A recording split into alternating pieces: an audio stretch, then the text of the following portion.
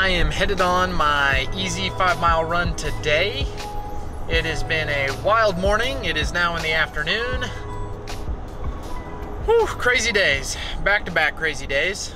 Yesterday's video, it was all over the place. That's just kind of how the day was, you know? It was waking up, making coffee, getting Hayes in to daycare, then working from Emily's parents' house for the day. So we live in Bella Vista, but everything we do is in Bentonville. It's like 25-ish minutes, depending on how many traffic lights you hit.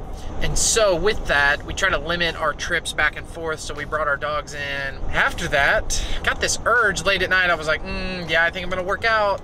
I wanna do some chest and some bro gym workouts. You get those cravings and feelings every once in a while. I haven't had one in a long time. Yeah, I haven't lifted weights like that in a while. That's the first time doing bench press in months. Now I'm back going to run again.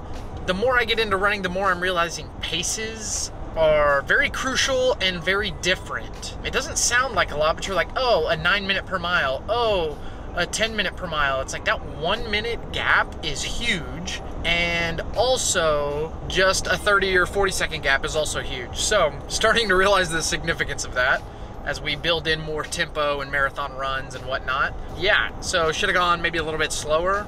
Again, I just, I don't look ahead very far. I really like, I just am in a bad place of like, I don't look farther than a couple hours ahead. You know, I'm like, okay, what am I doing for the next 90 minutes? Okay, cool. 20 minutes later, I'll look and I'm like, okay, what am I doing for the next 90 minutes? probably not the best way to go about and doing things, but that's what I do. That's where I'm at. That's who I am for now. Uh, we're changing that though. Today, five mile easy run. I looked ahead. I knew what I was doing. Just a low heart rate, keeping it under 155 throughout the entire time. Well, the park is still somewhat closed and under construction. We're gonna see if I can run around it. If not, I'll have to run on the trail again, which isn't ideal. Let's go! Let's go! Watching too much Frozen these days. Update. Construction. New trail. Uh, there's just very limited parking. Man, the bugs are out. I don't know if this happens to anybody else, just me.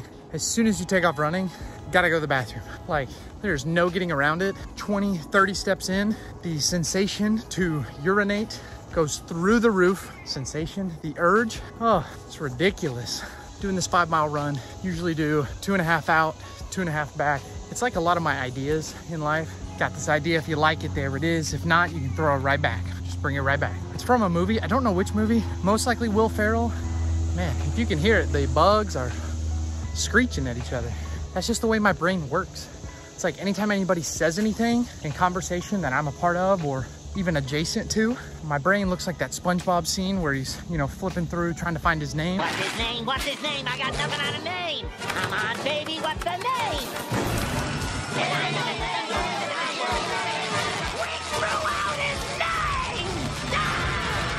But instead of my name, you know, sometimes I'm looking for my name, but you know, most of the time I'm looking for movie quotes, song titles, song lyrics, and then I implement them into the conversation based on whatever they just said. That's just, that's what I do. I don't know why, I can't help it. This heat, this time of year, it's got me having flashbacks to living in Conway, go to school, go part-time work, go do CrossFit, and then go play sand volleyball at the church for two, three hours at the end of the night.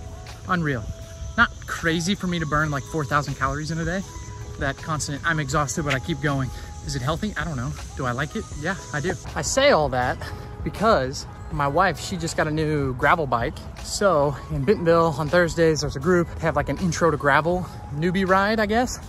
And so we're gonna go do that. I don't have a gravel bike.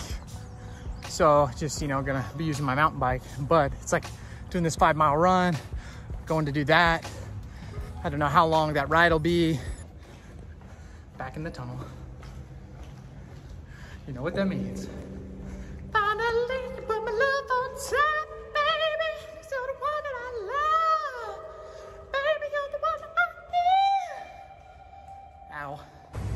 More construction. It'll be so nice when they get all that done. Sometimes I run with AirPods in, listen to a podcast or something.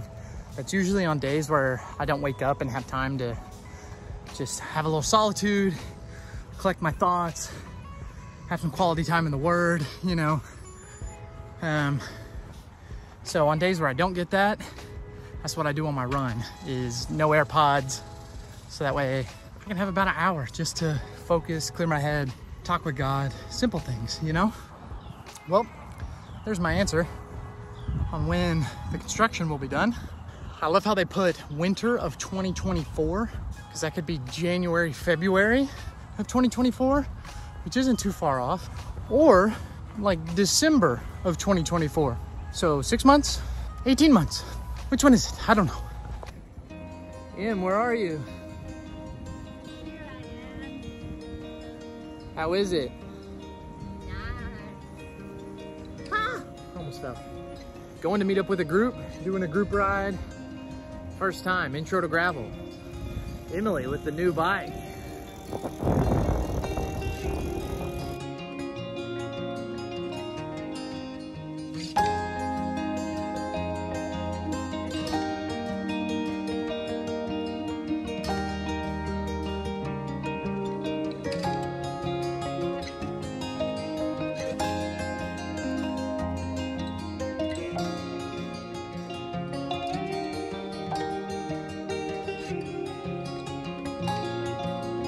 First gravel ride, how'd you feel? Scary. Very hot. Did almost 17 miles. Puts me at over 20 miles today. Activity. Good stuff. I love it.